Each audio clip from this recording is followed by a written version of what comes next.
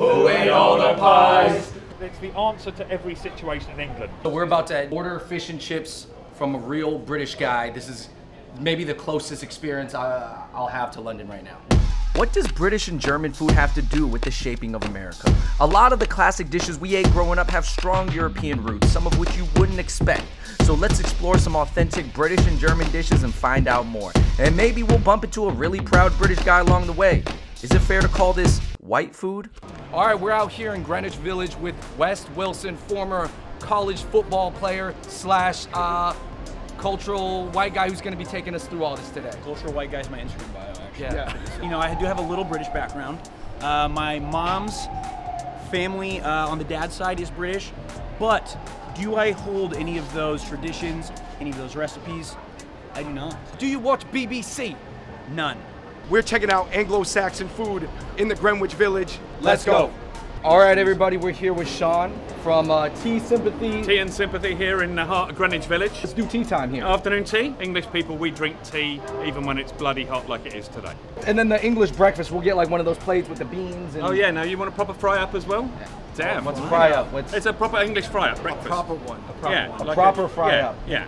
I might have had a fry up, but not a proper one. No, a proper one. What do you find that people know or do not know about British? Is it, is it most people have no idea? I mean, there is a sort of there is a sort of throwback to a lot of people think that you know English food. They're like, oh, English food. Why would anyone want to eat that? In fact, when my wife started the restaurant 30 years ago, she used to be mates with the guys from the B52s. Uh, when Nikki was talking about maybe setting up a restaurant and doing English food, Kate Pierson said, oh, English food. Why would anyone ever want to eat that? There was a there's a restaurant called the Fat Duck at Bray, which four years ago it's run by a guy called Heston Blumenthal, and it uh, won the award for the best restaurant in the world.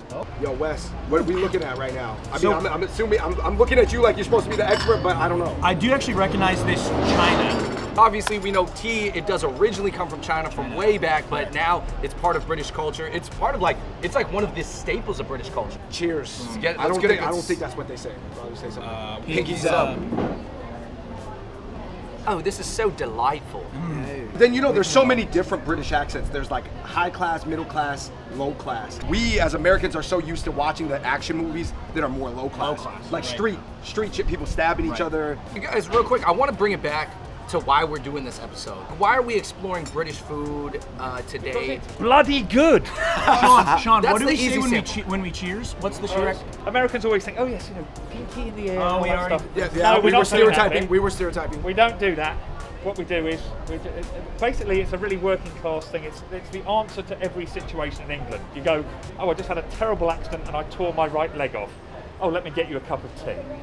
Or the other end of the scale, oh, I just won the lottery. Fantastic, I'll put the kettle on. It's the answer to everything. So it's no- there is no formality to it. That's why you'll notice none of the cups and saucers match. A lot of people say white people have no culture. And even this white kid growing up in high school was like trying, I don't know if he was trying to pander, but he was like, ah, you know, Asian's so cool, I don't have any culture. I was like, I don't think that's true. I think it gets lost because if you ask your white friends, right, where are you from, or like where, what what race are you? People just say, "Oh, I'm just white." You're not just white. Like you're from somewhere. Unless you're a Native American, your family comes from somewhere. You're not just a white American guy. Right. All right, you guys. The first round of British tea time foods slash breakfast foods has arrived. You guys growing up in uh, Missouri don't have this contraption. No, right? see, that's already way cuter than anything we ever ate on. This uh, the You know what is the most Missouri dish on this table? The baked beans. Baked beans in a Oh. bowl. But not for breakfast. Not for breakfast, no. So if you ate baked beans growing up, and I've had it growing up, But you're eating a, a, food of British origin. It's odd though to think that what I picture cowboys, you know, pour, putting beans over the fire, scooping them into a bowl. Now I'm eating baked beans with teacups. black pudding. Oh, actually, That wasn't bad. I went all at once. The uh, Asian um, blood sausages that I've had, because they do it, eat it in different parts of Asia, it, it was a lot more bloody than this. This almost tastes more like a sausage. Fried bread with baked beans. Tongue twister. That's a McDonald's hash brown with beans on it. Yeah. All right, but the beans taste different. They don't taste like how they did on the, On the w- push westward. You know what I noticed? They didn't have um, the barbecue flavor. I think that this is clearly distinct from America. Uh, they never give you a grilled tomato in the U.S. British breakfast fry. It's not bad. It's not bad. He, he was he was uh, making fun of the American bacon a lot, so I think it's Yo, important. we gotta cut up that banger. Are, are we doing this right by No, putting you're- everything on this is a crime against humanity. This is a Glad. this is Get tried in the Hague. a British crime. Yeah. Doing it right, doing it wrong. That's like just a bacon, egg, and cheese, but the the bread is fried. That's Yeah. the best. Bangers. Wow. listen, guys. Between the fried bread and the blood sausage, those are two things that are clearly not conventionally American, more British. Yo, Marco, you just joined Yo, us. what's going on, everybody? um, as our resident non-white white person. Yeah, Marco is an Italian kid who grew up in New York City. We got a white guy from Missouri. Yep. I, I don't know. Are you white? We You talk about this sometimes. I talk about it all the time, actually. I'm not white. I'm Italian. But even just like it almost like cornbread. No, it's a solid cake though. That cream is really good. Wow. Got uh, butter and jam over here. He said uh, Cornish. No, it's not butter, it's not clotted but- cream. I am sorry. Clotted There we go. cream. Cut everybody back to whatnot. Okay. Do not get this confused with butter. This is clotted cream. British clotted cream. All right, our last dish here at Tea and Sympathy is we have a shepherd's pie. This is like the the British pie, the British baked casserole. I've definitely eaten these before in like a much less, you know, prepared fashion. You never had the British proper one. Not like this. All right, well, go You're for it. using the word proper. Yeah, That's nice. shepherd's pie. No, that's the best shepherd's pie I've ever had in my life. I think we got to move on to our next spot. But before we do, what was your favorite thing that you had? Mine's a fried bread, no question. And kind of just throwing stuff on it all day long. I can do that. But I'm gonna go with uh, the shepherd's pie. All right, I'm gonna go with the bangers. That was a really good sausage. Yo, I'm going with the shepherd's pie. Really good. Uh, you know, I thought a little more flavor it needed, but it was good. It was good. All right, guys, on to the next spot. All right, so we just finished up with a proper tea time and uh, fried breakfast. I mean, that was something that maybe a perhaps upper middle class person would enjoy. or really working class. It covers the gamut. We don't we don't have uh, as much of a sort of like social strata in Are, that sort of are way. you sure? Because I saw a section reserved for monarchy only in the. Yeah, but they're, they're not around at the moment, so it's all right. And then now we're gonna go get some fish and chips, which is I feel like more associated with drinking. Fish and chips originally was uh, the first uh, occurrence of fish and chips that we discovered was um, there's uh, it was sort of like a, a, a market trader that was doing it and, and banging it out, and it became so popular everyone else started copying it. Now, how old spread. are we talking? Like how? We're talking, uh, you know, 100 years ago? No, we're talking, you know, late 1700s, early 1800s. You don't feel the necessary need to like point out things and be like, by the way, do you know Yeah, where no. that came from 300 years ago? Listen, I'm 54 years old. I would have spent 54 years going, excuse me, do you know? We're about to uh, order fish and chips from a real British guy. This is maybe the closest experience I, I'll have to London right now. Do you cuss at us? Are you rude? How's the British service at a I'm fish and no, chips no more rude than I am normally. You said tea was kind of like the celebratory. It's a celebratory. It's the answer to everything. Where, when does fish and chips come into play? Like, when do we want to go get fish and chips? We don't open late here because that's not the sort of crowd we cater to. But yeah, you'd be out and, uh, as they say, nothing cuts through alcohol quite like grease. Nice. Quick question. You say the Great British Pop. Do you guys say pop or soda Yeah, in Britain? pop. Well, we, we call it fizzy pop. Okay. Fizzy pop. Fizzy. What did you guys grow up saying? We s- grew up saying uh, pop, but now I say Seattle, soda. you think? The Seattle thing? You know what they say in the deep south? What? They call all soda Coke. So you say, can I just get a Coke? But it can that- be, it can be a what I say. Sprite or What if we had a nice uh, British pub chant? What would it be? Would it be the, Uh, you know, we say, um, I don't know, up your bum. up your bum? Up your your bum. There we go. What do you think of that? Who ate all the pies? Nice. Who ate all the pies? You bastard bastard. You ate all the pies. This is haddock. I think it's the best piece of fish we do. You've got chips underneath it. These are shrimp, and then these are scallops. You've got the chips underneath. Now you've got pickled onions. These are our own ones. We do these pickled on the premises. You don't put these with something. Just pop them in your mouth and eat them. That's the curry sauce, which you put on your chips and all the good stuff, or you dip stuff in it. And then this is mushy peas, very popular up north. They are marrow fat peas soaked overnight with bicarbonate of soda. And we're supposed to put this on the seafood. You can spoon it out there and eat it yourself, or you can put it on the thing. Immediately, guys, uh, we're all, you know, born and raised in America. What are you guys looking at versus, you know, a Long John Silver, a skippers, etc., etc. Well, for me, just the fry, like the batter looks beautiful. I think it's a good color, and I mean, you can give it the, the old scrape. It's tough. It doesn't have those little tiny like breadcrumbs, you know, that a lot of the Yeah, time yeah. you're used to eating in, in the fried food. So it actually almost looks more like a, a dark orange or yellow tempura batter. What we're going to do is first load of salt, some vinegar. Okay. Oh, oh, see, that's the oh. part where Americans wouldn't do that. Didn't they? And then, Vinegar on and then fries? No way, and then- dude. And then a little bit more salt on it. Salt and vinegar chips. Wow. Because the, the, the vinegar kind of cuts through some of the grease, right? Yeah, but it also gives it a little, you know, it just brings a whole new dimension to the flavour and all that. I would suggest if you want the northern experience, chips dipped in Curry? your curry I'll go curry. All right, you guys, chips yeah, and curry. it. Yeah, try it. Chips and curry sauce, let's go. Fish and chips and other animals of the ocean. Yeah. You need the vinegar. Oh yeah. You need it. It does because because it cuts through. It gives it like another whole dimension to the flavour. Oh my goodness. So we, we would be uh, inebriated right now if we were eating this. Uh, yeah, if you, you, there's a decent chance you might have had a head start on us. Yes. British, British onion onion balls. balls. Pickled onions. Oh, that's a lot of onion. Oh, Andrew took a bite of it. You like the pickled No. onion? No. We ate it. It was strong. We We ate ate the whole thing, yeah. I, don't I liked it though. It woke me up. I, was, you know, I don't even yeah, need Red Bull. yeah. I don't need tempura with and wasabi. Almost that same Yeah, vibe. so it's got that thing going on. Yeah, I mean, those are the ones we make on the premises. We also sell jars of them pre-made next door. That's not our own brand. It's, 'cause they're very popular in England. I love pickled onions. When Americans come here and they get to see the original version of a of a food they're used to having, maybe they were never aware if they came from Scotland or England because they just don't think about it. Are you happy to introduce to them that, or you're just like, hey, just try our version? I'm not even trying to hammer it home that it was the originator. No, no, I'm- I- I'm just yeah. like trying to present I'm, it. I'm happy that they're trying it because you know I think with anything, it's, you know, one shouldn't be uh, too stuck up one's own arse over it. Really. Does this it tick British people off when they go when Americans say, "Man, you guys are really speak English funny"? Oh yeah, no, I get that all the time. You know, I mean, Right, I, you know, I get people asking me, oh, what, so what language do they speak in England? okay. If there's any way to open a door for uh, like sheltered American people who don't try a lot of different foods, I mean, what more could you want than not fries, but because I'm speaking to Americans at this point, but a, a basket of fries and deep fried Right, fish, right, right. shrimp, You're, you're not onion asking them to take too huge of a risk with this. Is there any American version of British food that you think that Americans generally might have done better? Like improved Oh, upon? that's a good one. End like, on. This is a good one. because I know I. I get the whole bet. I get it because you know you're like OG, OG, OG. Is there a, is there something you had to be like?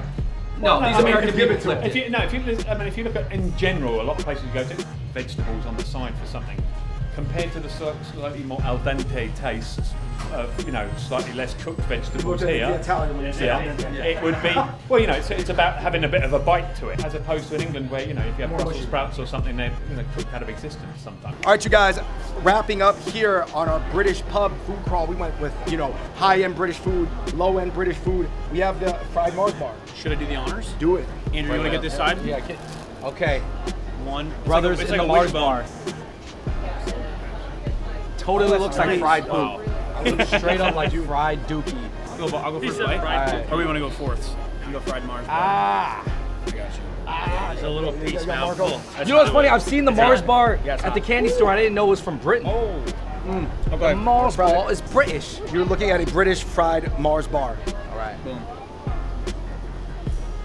All right, everybody. As that wraps up our British section of this food crawl, we're gonna go get German food because not only are you part British and German, Germans, It's more relatable. Austrian, but they're cous- they're but they're neighbors. we gotta cover the languages that almost took over America. So they were deciding between English and German as the national language of America. They ended up going with English. Not gonna lie, I'm pretty glad. But let's go get some German food down in the Lower East Side. Guten Tag. Boom, you guys, we have arrived at what? Loreley Beer Garden in the Lower East Side. German.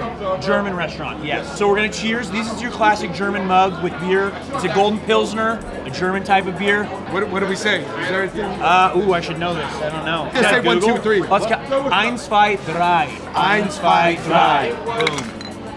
Eins, zwei, drei. Okay, so essentially what you have here, it's like we Americanized it and turned it into bratwurst, where we just put a brat in a bun and put like mustard on it or whatever. But this is traditional German sausages Well, like, and, and the, the presentation especially served over sauerkraut. All right, Wes, your grandmother's from Austria. You do speak a little bit of German. Tell us what you know. This is a smashed pork loin, and then it's breaded. I had my first one in like 2004 at a hotel in Vienna, Austria. I actually heard that the origin of the pork katsu in Japan comes from the schnitzel. Wiener Schnitzel. Yeah. What do you have to say when people say, you know, British and German food, there's not that much flavor? Maybe not as much flavor, not as much spices, but I do want to tell our audience German food is very masculine, in my opinion. If, if it's good for anything, it's putting some meat on your bones, get the boys together, grab some drafts, and get some sausages in you, dude. Light bulb moment, pretty sure the Wiener Schnitzel I had in Austria was served with like a jam on top. Right, they, um, they didn't bust out the jam for the American market. No, they didn't want it. I think we gotta just each pick a sausage, guys. I'm gonna go with no mustard on the andouille. I, you know, the andouille, it should be by yourself. Mini brat, but it looks looks just like the regular brat, so. That's, that's a juicy guy right there. Yeah, andouille's good. Let's do it right here. All right, little. There's nothing wrong with like beers, babes, and some brats. Beers, bro. babes, and brats. German breakfast sausage. Yo, I'm a, I like the brats. You having been to Germany and Austria, how, how does this rank? This is good. Yeah, this is good. It's a good replication. Well, and if you and I were just gonna go, we're not gonna get eight different wieners. You know what I mean? This is nice because we get we're with the boys. We get a little variety, and you figure out one through eight, rank them. Do you think Germans invented the term sausage party? I don't know if they invented the term, but they provided the situation for us to call it that. Wes, you brought up an interesting point when you saw the jam. I did, and I'm just now finding this out. I think this might be OG. I could be wrong. Better. It makes it's it like- better with the jam. It's like desserty. Wiener Schnitzel. Oh. Marco, take a piece of the the the, the pretzel. German pretzel. In the cheese? Should we go in the cheese Oh, or go hey first? there. Wes, you got to tell people. A lot of people eat pretzels growing up. We eat them at the carnival, we eat them at the sports games, we eat them at school, but we don't know that this is a classic German food. These pretzels are way better than the street vendor pretzels that they have in the street in the corners. Last but not least, we got potato cakes. What do you know about these? Nothing. These were not a part of uh, Oma Millie's um, table ever. So your Austrian side puts applesauce on mac and cheese. That one's gonna make a lot of people upset probably at home because it's. I know it's super weird. But that's the culture. My mom, my aunt, O- Oma, and my brother. German potato cakes. It reminds you of like a hash brown, sort of like, you know? Did you die with the apple on it? I did it. Okay, I got. We got to do jam on schnitzel. That's a requirement. Jam, you know what? I'm just gonna throw it all on. Yeah, yeah, yeah, yeah, yeah, yeah. This is the way Wes had it in Austria. Cheers to Oma. To Oma. To Oma. All right, you guys, we're with our favorite items here at this German pub feast at Loreley's. I picked the andouille sausage.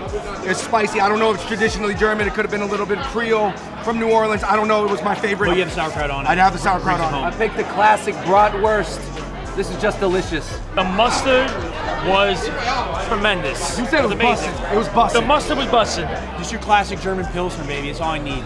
Yo, can you count to uh, 10 in German just to show the accent that you got? Eins, zwei, drei, vier, fünf, sechs, sieben, acht, neun, zehn. I don't know if it's just the media that I grew up with, Wes, but you sounded Am I scary? like a bad guy. Or, or a BMW engineer. or a BMW engineer. Hey, amazing cars and amazing sausage. All right, you guys, thank you so much for watching that episode of Fung Bros Food. Today we were able to delve into British cuisine as well as German pub food. Very eye-opening. Those were two things that we had never covered before on the channel. Huge shout out to Wes. Thank you for doing it, bro. I appreciate you. Marco, thanks for showing up. Yo, and, uh, always, you're always. exploring a, uh, the, the more dominant white culture that I guess you're not a part of. Yeah, yeah, it was cool. It was cool. I was seeing. Yo, thank you so much. The Yeah, beer, the beer that I got, the sausage we had, it was great.